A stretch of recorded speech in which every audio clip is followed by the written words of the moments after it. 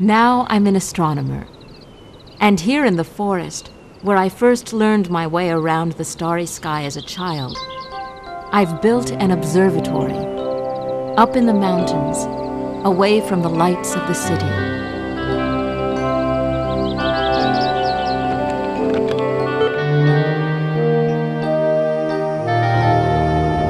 Astronomers are people who watch and study the sky, which means I've been an astronomer since I was nine years old.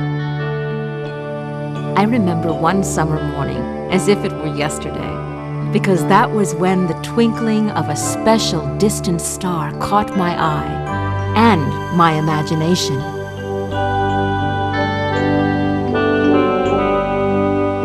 That's when I began my quest to explore the universe. It's a quest you can take whenever you want by simply looking up at the night sky.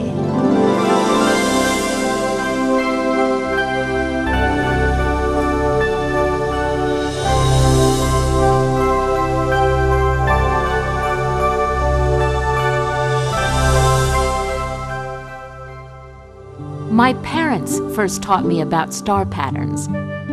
The first one I learned was the Big Dipper, over here in the north. Okay, it's easy to find. There are three stars in the handle and four in the cup.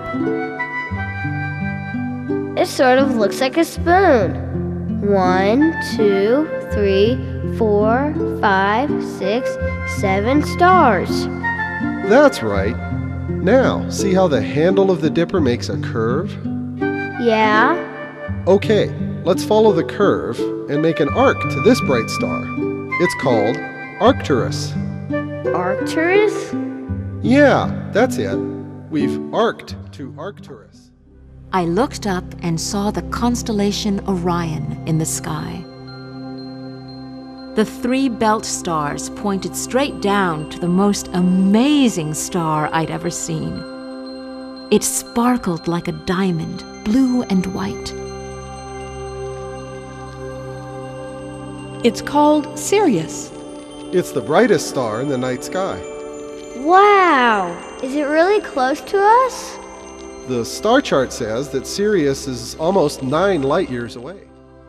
Every year, I'd go out on my birthday and wait for Sirius to appear above the horizon. It's the star that started me on my sky quest. A comet called Shoemaker-Levy 9 collided with Jupiter. Actually, it was a 21-piece comet. As each piece plowed into the clouds of Jupiter, there were tremendous explosions and huge amounts of dark material splashed out from the impact sites. I saw those dark markings through my telescope. And of course, the Hubble Space Telescope took even better pictures. But the impact sites slowly spread out as Jupiter's winds blew the clouds around.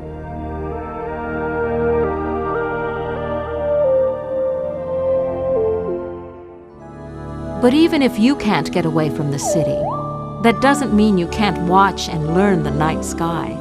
You can do it from your own backyard. Go out tonight. Look up and find a star pattern with a really bright star. That's all you have to do to start your own sky quest. Try it, and you'll find a special place for yourself in the universe.